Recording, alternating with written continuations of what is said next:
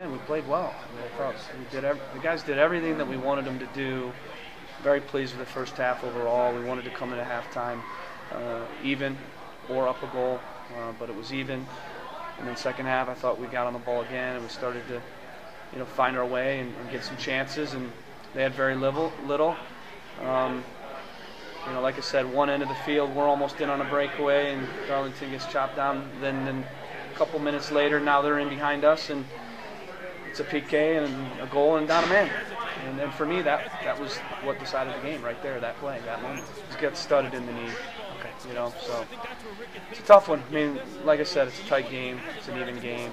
You know, we're not giving up many chances. We look like we're going to get a goal somewhere at some point. point, and uh, next thing you know, now it's a PK, down a goal and down a man.